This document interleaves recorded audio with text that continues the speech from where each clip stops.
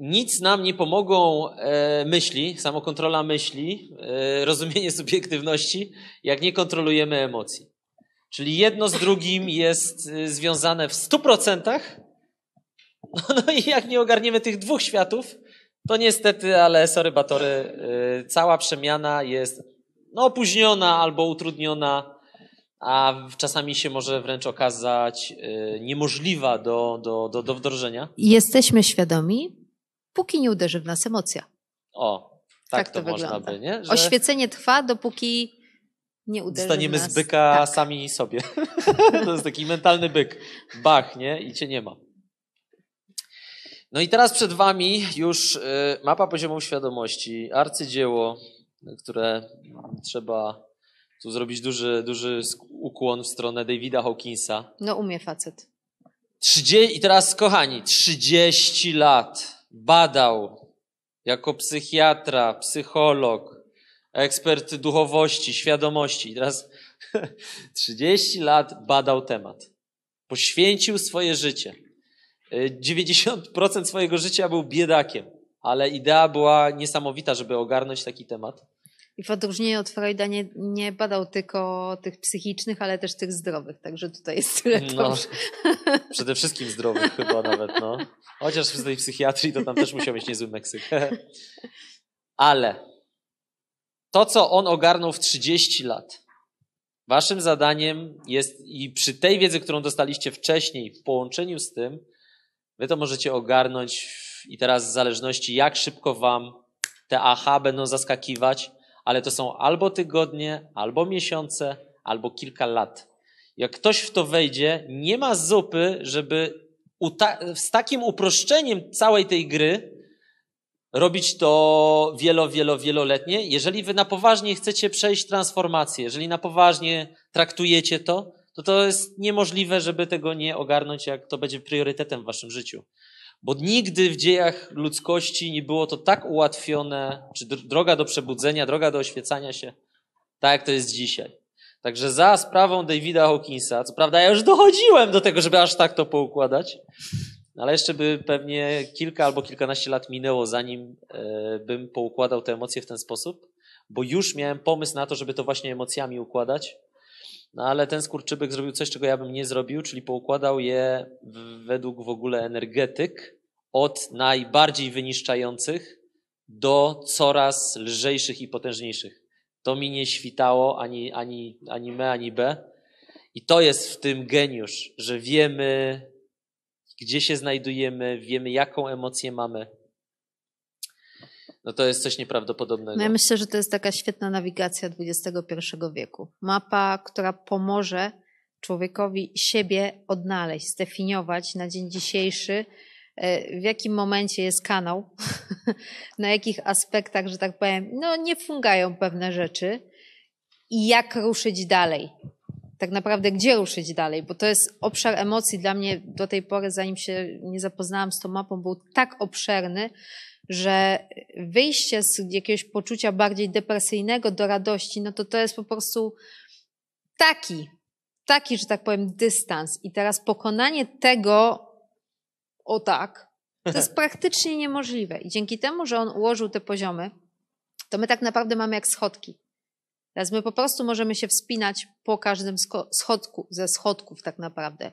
Krok po kroku, krok po kroku i dzięki temu lepiej jesteśmy w stanie poznać siebie. To jest fajne. A jak poznamy siebie, no to współpraca z samym sobą już jest znacznie łatwiejsza.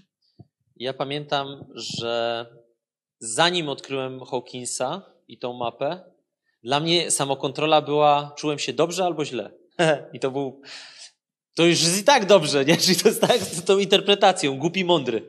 To jest i tak przełom, to jest, to jest wow, to jest game changer, że mogę kontrolować i czuć się dobrze albo źle. Ale teraz my mamy możliwość zabawy niuansami między wstydem a winą. Wiemy, czym jest depresja, a czym żal, a czym strach a czym żądza, a czym złość, a czym duma.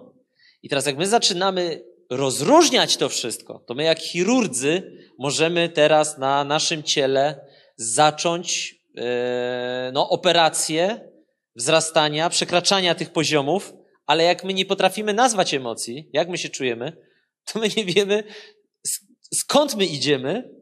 Jak nie potrafimy nazywać tych emocji wyższych, to my nawet nie wiemy, dokąd idziemy. Czyli to jest, no nie jest, że nie dość, że nie wiemy, gdzie idziemy, to jeszcze nie wiemy, nie wiemy gdzie my jesteśmy. No to żadna nawigacja by nie, nie pomogła, nie? No i myślę, że słowem wstępu fajnie zamknie to w ogóle fakt tutaj relacji z innymi ludźmi, że mapa świadomości dała mi możliwość w ogóle zrozumienia, gdzie się znajduje osoba, z którą w tym momencie rozmawiam czy obcuję i dopasowania się do poziomu wibracyjnego tej osoby, no bo nie ukrywam, że bardzo często, jeżeli mamy do czynienia z kimś, kto jest w skrajnym przeciwieństwie tej mapy, no to nawet jednej części, to nie to jest, że jest ciężko się dogadać. To się nie da dogadać. To po prostu jakbyśmy mówili na dwóch zupełnie różnych językach. Natomiast mając świadomość tej mapy, my jesteśmy w stanie po prostu przeskoczyć na pewne neutralne tematy i jest okej. Okay. Dalej można funkcjonować, rozmawiać, żyć. Natomiast ja pamiętam, jak y, jeszcze początki, jak się poznaliśmy z Dawidem, gdzie on był przesuper, piór, radością, ha, ha, żygał tęcza.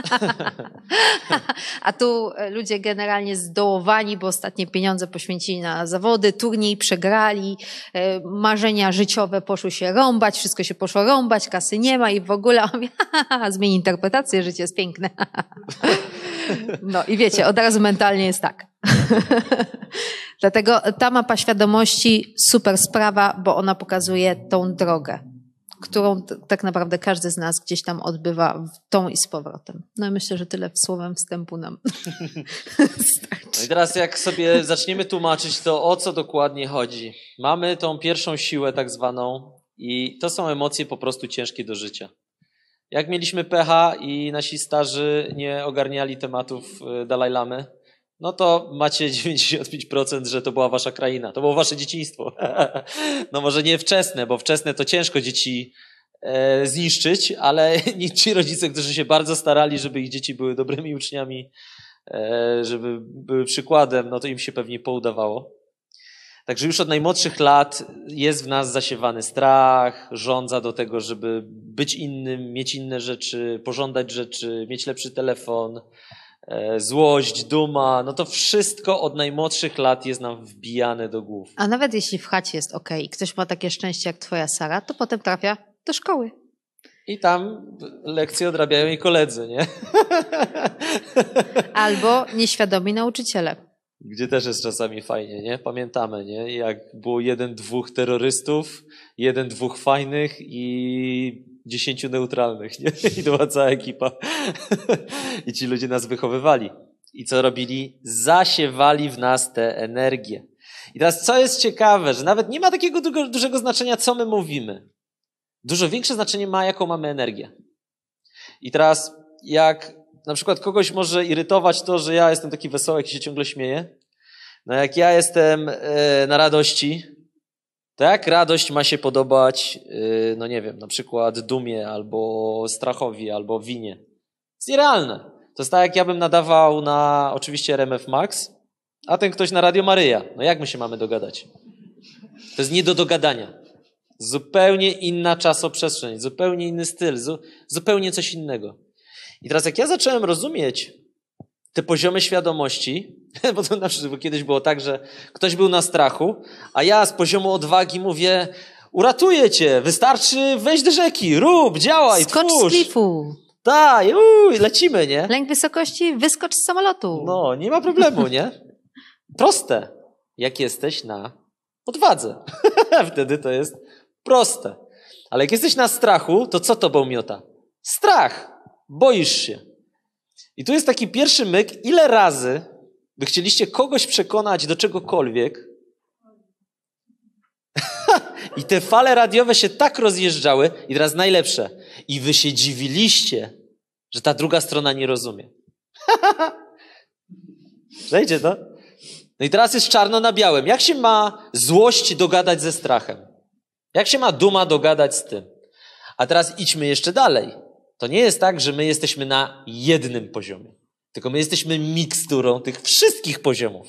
I ktoś ma w sobie 20% strachu, 5 rządzy, 20 winy, 30 wstydu. Wiecie, i, to jest, i każdy jest jeszcze takim totalnym unikatowym stworem. I w ciągu dnia jeszcze mu się to zmienia 30 tak, razy. Bo czy się najadł, czy się wyspał, czy nie wyspał. Wiesz. I teraz tyle jest zmiennych, że to jest po prostu niesamowite. I my się dziwimy. No i teraz upraszczając jakby tą zabawę, mamy, mamy te poziomy i teraz musicie wiedzieć, że to są jak zaszczepione w was myśli, tak samo macie zaszczepione emocje. I albo macie więcej strachu w swoim życiu, złości, dumy, patrzycie na innych z góry, inni są gówno. To jest tak, jak dużo osób ma właśnie ten odruch z pisem, że oni są gównem i tak dalej, on wie lepiej, y, powinno być tak, a nie tak. To jest duma. Także y, uwaga, uwaga. Ale nie idę, nie głosuję, bo nie ma sensu. można i tak, nie? Jak można nie głosować? e, no i teraz, kochani, wdrapując się na górę, na poziomie mocy my już zaczynamy latać. To już jest unoszenie się w powietrzu. Tu już jest lekko. Pierwszym poziomem odwaga, gdzie de facto się tak myśli, nie? że jak jest się odważnym, no to jest taka super, super hero wibracja, jak ktoś jest odważny do życia, odważny do biznesu, odważny podejdzie do kobiety, odważny, odważny, że to się wydaje jako taki prime. A to na tej liście jest dopiero, yy, witamy w krainie dopiero yy, bo, superbohaterów życia, a nie, że ty już jesteś na jakimś topie. Bo jak jesteś odważny, to ty dalej potrzebujesz odwagi. Ty dalej nie rozumiesz. Czyli to jest tak z tym, mam nadzieję, wierzę w siebie, a potem jest dopiero rozumiem, co z czego wynika. I między jestem odważny do życia, a rozumiem, co z czego wynika, to jest przepaść. I dlatego tutaj jest tak samo, jak my właśnie rozmawiamy, że chcielibyśmy, żebyście jak najwięcej tych rzeczy zrozumieli, żeby zaskoczyły, żebyście znaleźli sami na siebie słowo klucze, bo to jest przepaść między rozumiem, a stałem się odważny, bo coś tam się nauczyłem. I ciekawe jest to, mnie to bawi zawsze, że ta neutralność jest potężniejsza energetycznie od yy, odwagi. A ja mam przyjaciela komornika, który jest właśnie idealnie na neutralności. No i wyobraźcie sobie, żeby być komornikiem na radości. Teraz wiecie, wchodzicie komuś do chaty, no i tak Ewa powiedziała, zmień interpretację. Pomagam ci stać się bardziej ambitnym. I tak samo, ale w ogóle ciekawa, ciekawa interpretacja, że on mi kiedyś powiedział, to nie jest tak, że on tych ludzi okrada. On pomaga tym poszkodowanym, którym oni nie oddali. A? tak na niego patrzę, mówię, no w sumie, nie, w sumie racja, nie? To nie jest, że on krzywdzi. I teraz neutralność, gdzie nie masz huśtawki w lewo ani w prawo, do życia, Bezpieczne. lżejsze niż hura optymizm i odwaga. Później mamy y, piękną, co, ochotę, tak? Ochota jest czy ten? Akceptacja, ochota. Czyli już taka zmasowana, działanie, tu optymalizacja, wszystko mądrzej, lepiej, skuteczniej, efektywniej. E, jeszcze lepsze niż odwaga, gdy mamy zorganizowaną tak jakby odwagę, która już przed do przodu. I teraz co ciekawe, że to się wydaje, że to są ci liderzy. I to są tak naprawdę ludzie sukcesu, którzy osiągają, zdobywają sukcesy wielkie i tak dalej. Muszą mieć w sobie odwagę, muszą mieć w sobie e, też ochotę jakąś do działania. Ale akceptacja jest lżejsza do życia. Kiedy już akceptujesz, akceptujesz to, co masz, akceptujesz ludzi, akceptujesz deszcz, po prostu wszystko akceptujesz. Nie podpinasz się. Luźna dupka. I teraz ile jest osób takich, co to luzik, nie? Coś tam zrobił, a spoko. Już nic się nie stało. No hit, że mniej agresywna jakby wibracja jest fajniejsza do życia. To jest niesamowite, że my nigdy, nie, w moim mniemaniu, przynajmniej też jako sportowca, nie było tak, że fajniejsze życie jest takie spokojne. Tylko, że jest jednak energia, ciśniesz, robisz, walczysz, masz ten power i idziesz do przodu non-stop. E. Fajnie jest tam, gdzie jest luzik arbuzik. Taki totalny. To jest niesamowite. Bo motywacja ma coś takiego jakby agresor pewien wbudowany i w zasadzie większość ludzi, którzy się zajmują sportem wyczynowym albo nawet się zajmują jakimś tam biznesem nastawionym na szybką kasę, szybki zysk, to wszystko jest nasycone silnym oczekiwaniem, silnym parciem do przodu. Pragnieniem. Pragnieniem, dokładnie. I teraz to jest tak naprawdę taka, no troszeczkę y, taki kołowrotek, bo z tego nie da się wyjść. Bo tak naprawdę już potem pod koniec dnia nie chodzi o to, że spełnię swoje oczekiwania, bo ich się nie da spełnić. No i to jest właśnie, yy, tak jak fajnie to powiedziałeś, kiedy ja odkryłam u siebie, że wejście na luz, na neutral w sporcie wyczynowym pomaga mi osiągać więcej, być bardziej produktywną, potem w biznesie jest dokładnie tak samo, to nagle się otworzyły dla mnie bramy niebios. Bo ja mogę robić mniej i dostawać więcej, mniej się spinać, mniej się stresować. Gdzie dla mnie zawsze było, wiecie, przekonanie, 8 godzin na sali to jest trening. Jak można w godzinę czy w pół godziny zrobić to samo, co ktoś w 8? No i właśnie tu sztuka polega na tym, że jak coś przestaje być dla ciebie ciężkie, to ty jesteś w stanie pracować znacznie mocniej, intensywniej. To, tak, że ty nie czujesz... do tego rozum, to efektywniej, szybciej. A to, że nie, ty nie czujesz obciążenia tej pracy, wynika z tego, że jesteś po prostu znacznie bardziej wydajny, bo masz ten luz. I nie jesteś obciążony tymi wszystkimi myślami, tym wszystkim. I to jest generalnie stan, do którego ja bardzo długo dążyłam, zresztą Dawid wie, żeby się nie podpinać, a wejść sobie właśnie w tą neutralność, bo neutralność daje luz, spokój i znowu przestrzeń, i tam się mogą realizować kolejne rzeczy. Natomiast kiedy jest podpięcie, ciśnienie, to robimy wszystko pod ciśnieniem. To jest tak, jakbyśmy mieli bacik nad głową i on cały czas nas trzepie, trzepie, trzepie, trzepie i my działamy, ale mimo wszystko jest cały czas bat. Dlatego te wyższe, te nawet początkowe wyższe stadia na mapy y, świadomości, na mapie świadomości Hawkinsa są piękne, że one tak naprawdę dają swobodę, lekkość. I my nagle nie musimy zapieprzać, tylko my działamy. To mała różnica. Zapieprzać, a działać. W tym słowie, nie? Mhm. No i teraz mamy tutaj. Pierwsza strona to był negatywizm. Ciężkie życie, trudne, waleczne. Jak już dochodzimy od odwagi do rozumu, już mamy turbo lekkość, ale dalej jesteśmy w umyśle. Dalej to jest kraina zaglądania do głowy, analizy i się zastanawiania.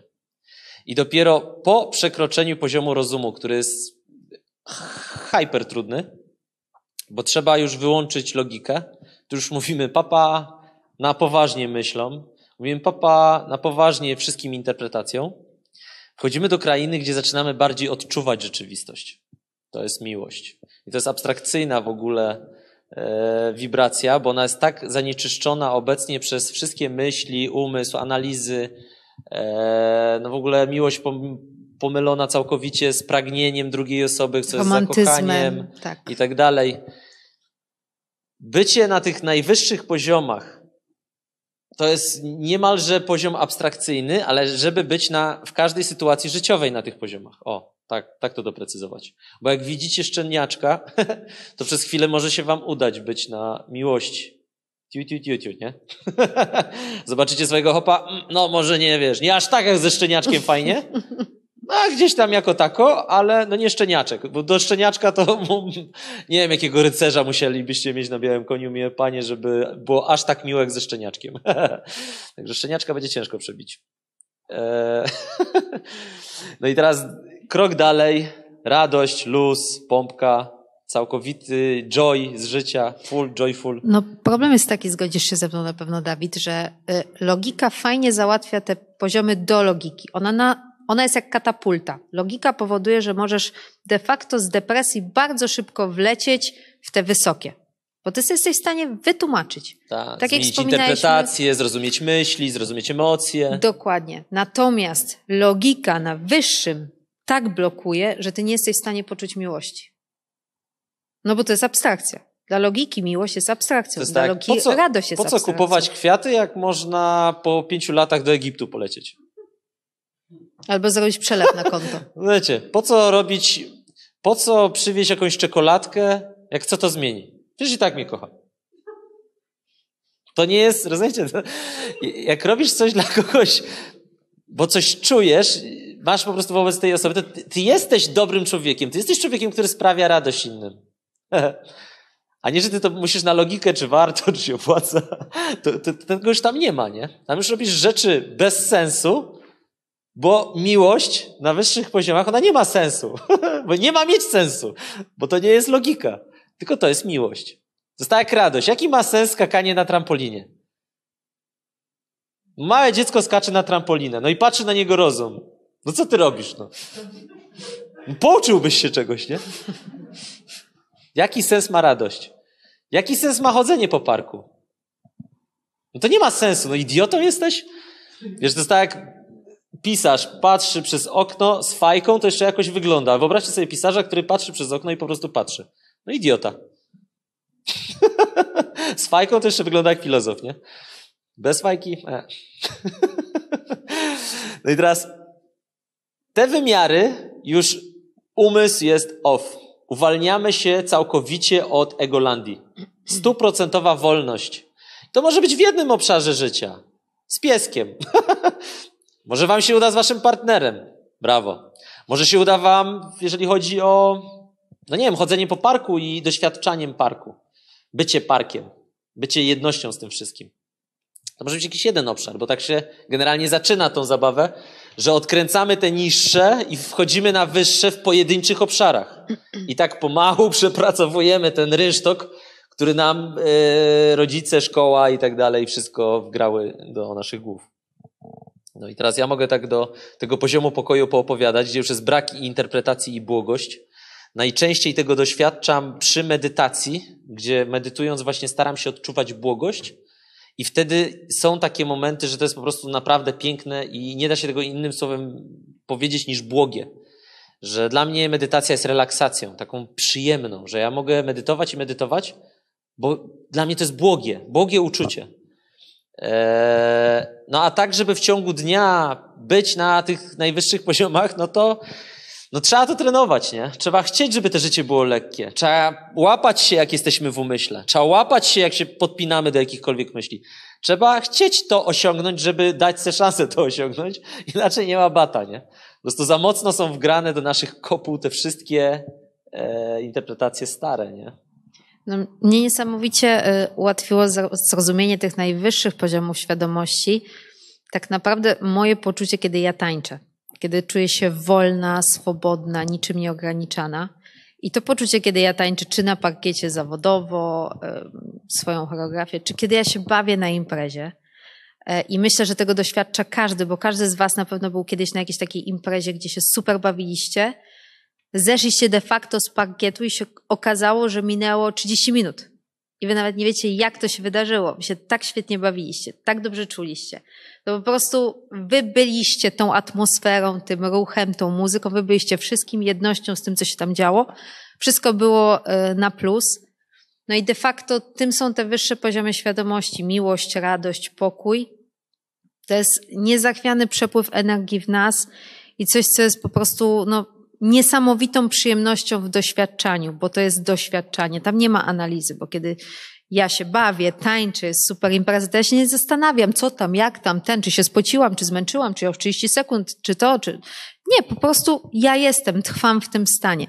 Więc y, na pewno to nie jest tak, że te wysokie nie są dla nas doświadczalne, dla nas przeciętnych ludzi, bo nie, bo nie jesteśmy Buddą, papieżem.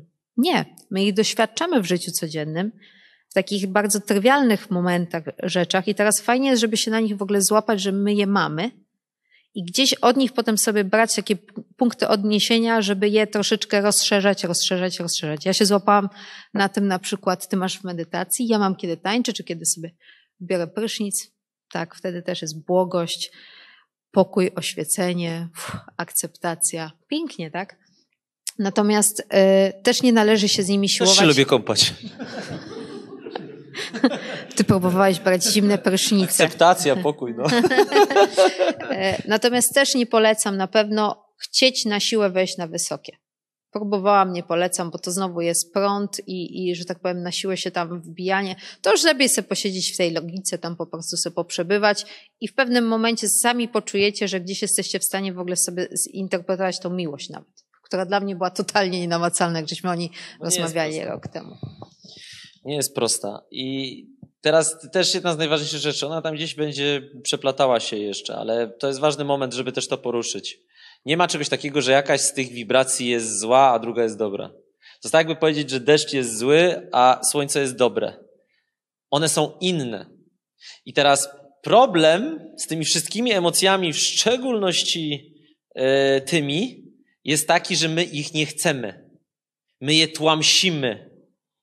My je dusimy. I teraz sztuczka i bajer. To jest, to jest serio duży bajer. Polega na tym, żeby zaakceptować je wszystkie. Czyli przytulić, tak jak tych wszystkich zrycioli wokół nas, mentalnie, tak samo niezależnie jak się czujemy, zaprzyjaźniać się z tymi emocjami i nie oceniać siebie, że ja jestem gorszy albo lepszy, bo mam więcej rozumu albo więcej strachu. Teraz taki, taki przykład, to ja bym chciał więcej strachu w swoim życiu. Ja lubiłem się bać, jak e, skakałem z samolotu. Teraz się mniej boję i to wcale nie jest fajne. Już jakbym na, nie wiem, górnik odbijał kartę i szedł wyskoczyć z samolotu. Fajniej było, jak się bałem. I teraz wiecie, ktoś ma dużo strachu, e, jak go zaakceptuje, to jest w stanie z tym strachem fajnie współżyć. Problem jest, jak z nim walczysz i go nie chcesz. Także chcenie, żeby było lepiej, jest tak samo złe, jak nie chcesz się czuć tak, jak się czujesz. A jak to akceptujesz, to nagle się te emocje wyłagadzają. Chodzi o to, żeby nie stawiać oporu. Nie No, budować ściany, nie opór? budować muru. To jest trochę tak, jakbyście przechodzili koło płotu, gdzie pies szczeka i byście chcieli, żeby on przestał szczekać. No głupie. Pozwól temu pieskowi szczekać, zaakceptuj pieska i albo sam przestanie szczekać zaraz, bo się już zmęczy, albo niech sobie szczeka i nie ma problemu. I tak samo powinniśmy traktować nasze emocje w ciele. Są? Okej. Są lepsze? Okej. Są tragiczne? Okej. Minie, tak? Pogoda. Jak się zaczyna łapać ten dystans do tych emocyjek. I ich nie hierarchizujemy, że one są lepsze czy też gorsze. One po prostu Jedyna są. hierarchia to tak naprawdę lekkie do życia I i, ciężkie, trudniejsze do życia. I tyle. To jest taka. Aczkolwiek też kwestia przyzwyczajenia, bo jak się całe życie No. żyje na tych ciężkich, to tak, że tak powiem, fajnie, spokojnie. Dostałbyś w twarz radością i nie wiesz, jak się nazywasz. Nie? Tak. Dobra, i teraz się pobawimy. Dużo osób czytało moje książeczki, ale po bardzo dużej krótce. Samoocena. I teraz musicie sobie zdać sprawę, że możecie być gwiazdami jak Whitney Houston i możecie mieć ochotę y, sobie podcinać żyły. Nie musicie być, y, nie mieć co do garnka wsadzić, żeby mentalnie się tak wyniszczać. Możecie być Whitney Houston. I teraz to jest nieprawdopodobne, że okoliczności, stan konta to nie ma znaczenia. Liczy się nasz garnek, czy my ogarniamy, czy my nie ogarniamy. A mówiąc poziomami świadomości, w zależności na jakim poziomie świadomości jesteście, tak oceniacie siebie. I możecie do siebie mówić, że jesteście nieudacznikami, głównym nic wam w życiu nie wychodzi i będziecie mieli tak samo rację, która nie istnieje, jak sobie powiecie, że jesteście e, stworzeni na podobieństwo Boga. Kwestia, w co uwierzycie, nie? A na końcu tej zabawy, i to mi się najbardziej podoba, jest brak interpretacji. Teraz dlaczego brak? No bo jak już rozumiesz, że możesz coś zinterpretować na tysiąc sposobów, to jak można przywiązać się do jednej interpretacji? To jest szaleństwo. Ja się mogę bawić tymi interpretacjami. Ja się mogę z nich nabijać, ale na Boga nie wierzyć. Jak ja sam siebie mogę ocenić na tysiące sposobów, to jest hit. Ja każdego z Was mogę ocenić na tysiące sposobów. Ja bym Was inaczej ocenił, Wasza mama by Was inaczej oceniła, Was facet by Was inaczej ocenił, Wy sami byście się sami inaczej ocenili, kolega inaczej by Was ocenił, koleżanka inaczej oceniła. Czajcie, nie ma. I teraz jak my to zaczynamy rozumieć, no to jak można się do jakiejś jednej interpretacji przyczepić? Dla mnie to jest szaleństwo, nie? To jest, to jest psychiatryk, wariatkowo. I chociaż to jest takie proste, że w zależności jaką mamy emocję w ciele, tak widzimy świat, bo proste, masz w sobie strach, no to widzisz strachy. Masz w sobie miłość, dzielisz się miłością i współczuciem ze światem. Masz w sobie radość, to masz bekę. Masz w sobie rozum, to jest cały czas logika i analizowanie. W zależności jaką masz wibrację w ciele, tak widzisz rzeczywistość. Nigdy w całym swoim życiu nie oceniliście rzeczywistości taką, jaką ona jest. Bo ona po prostu jest. PiS po prostu jest. Gej po prostu jest. Oprawca po prostu oprawił, jeżeli jest takie słowo. Pięknie. E, Ktoś bliski nam po prostu umarł. I teraz my, jako najbardziej kozackie stworzenia, może nawet w całej galaktyce, chociaż galaktyka duża, planet dużo, e, mamy możliwość decydowania, jak się czuć w związku z daną sytuacją, co myśleć w związku z daną sytuacją. I teraz wyobraźcie sobie, że my się tego nie uczymy w szkołach.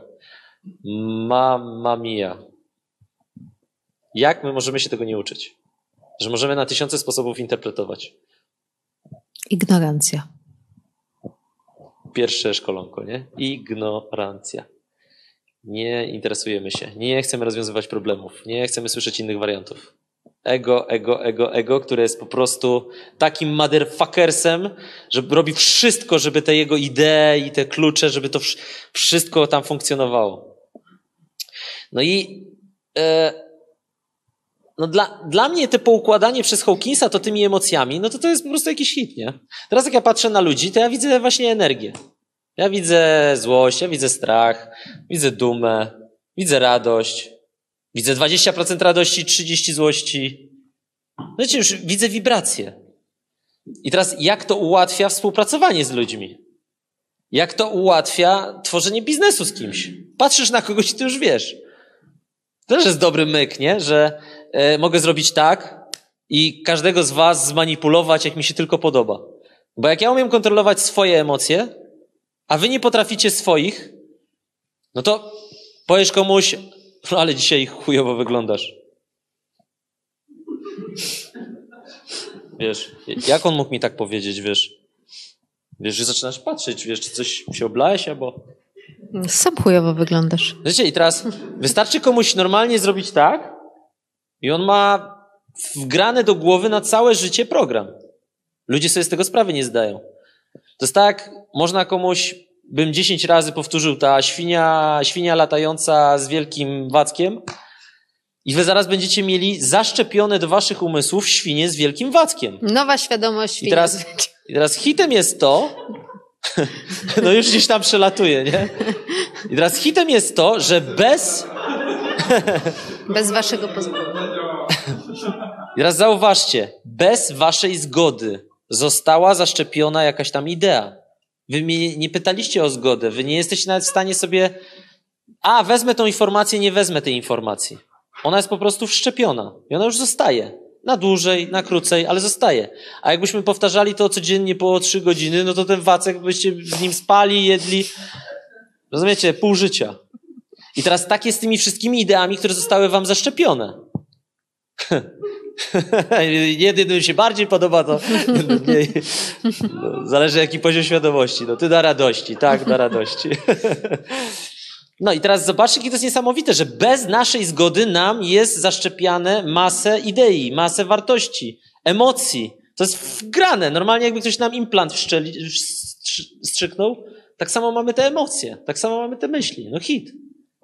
I też to fajnie pokazuje, że raz spojrzenie sobie na mapę Hawkinsa nie załatwia sprawy, bo jeżeli tyle lat wgrywały nam się pewne systemy, no to formatowanie dysku też chwilę zajmie, nie? Także tutaj, żeby te pewne rzeczy w sobie zaszczepić na nowo albo wgrać nowe, no to trzeba tak naprawdę zdominować te stare te, które Wam są już, y, że tak powiem, nie, niepotrzebne. Dlatego ta mapa jest fajna, ale nie na zasadzie, że z... fajnie zobaczyłam, zaznajomiłam się git.